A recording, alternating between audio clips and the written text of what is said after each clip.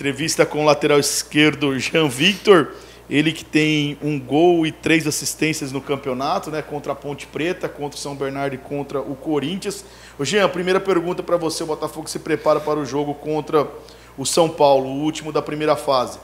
Uma vaga para três equipes do Grupo C do Paulista. Como o elenco está sentindo essa decisão jogando no Morumbi frente ao São Paulo? É uma partida que todo jogador sonha em jogar, né? Tá aí disputando uma classificação no Campeonato Paulista que é o campeonato estadual mais forte do, do país. Então é um jogo que todo mundo quer jogar, é entrar focado, sabendo o que tem que fazer. A gente sabe da dificuldade que vai ser o jogo. É, infelizmente não depende só da gente nessa classificação, tem outros jogos aí que a gente precisa estar atento aí é, com os resultados, mas a gente vai em busca aí dessa classificação tão importante para o clube.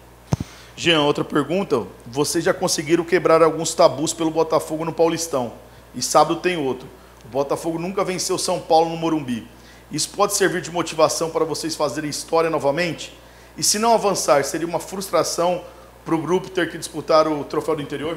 Não, com toda certeza. A gente tem que é, pegar o que a gente fez de bom, de positivo no campeonato e, se Deus quiser, quebrar mais um tabu. Né? A gente já tem é, alguns aí que a gente foi quebrando ao longo do campeonato mas em momento algum vai ser frustração se a classificação não vier. A gente tem que estar tá ciente do, do quão bom a gente fez esse campeonato, do quão importante foi cada vitória, cada jogo, cada evolução que, que o time teve. E em nenhum momento vai servir de frustração, até porque, é, infelizmente, a gente está aí com é, 18 pontos e não está classificando. A gente vê times aí com 14, 15 já classificados e, infelizmente, mas fazer o quê? É o grupo, né? um grupo muito difícil que a gente pegou, mas a gente vai firme e forte para a última rodada buscar essa classificação. Ô Jean, como que a equipe tem que se comportar taticamente diante do São Paulo para conseguir a classificação? Ah, o professor Leandro Zago já está aí montando durante a semana toda a estratégia né, que a gente tem que ter contra o São Paulo. É, repito, né, é um jogo muito difícil na, na casa do, do São Paulo. A gente sabe da dificuldade que vai ser. E é isso, é o trabalho aí do dia a dia que o professor vai simplificando cada detalhe, cada ajuste para a gente fazer o jogo perfeito aí no, no, no sábado.